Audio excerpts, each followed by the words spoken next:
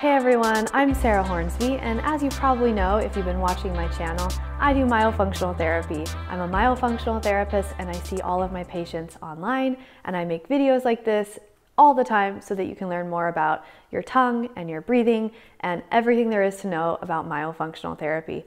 Now, today I want to talk about something that I think is one of the most important components of good and successful myofunctional therapy, and that is the back of the tongue a lot of people forget about the back of the tongue. It's not just about the tip of the tongue going up to the spot, which is important. That helps with our tongue posture in general.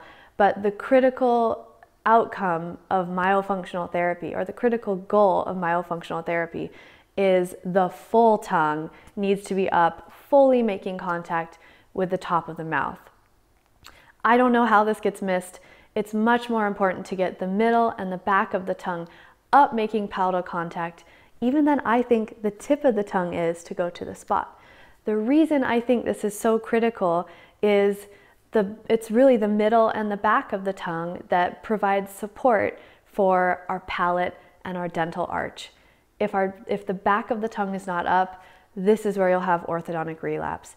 Even if the tongue is perfectly on the spot and the lips are together, if the back of the tongue drops down low, it's not going to help you long term. The other thing is the back of the tongue is stability for our TMJ.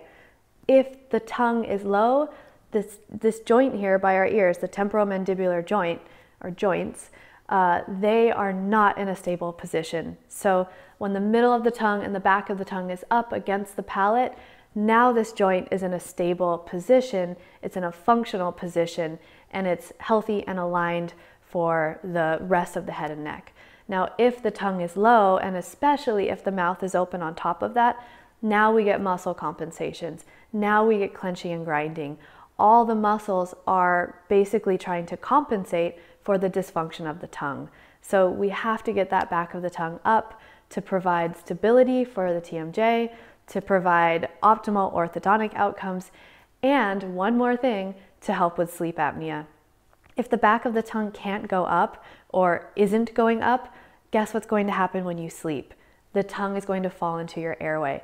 Now, if you can work with a, a good myofunctional therapist, someone who can help you with the back of your tongue, you should even be able to train your tongue to stay up at night while you sleep, and this will keep your tongue out of your airway.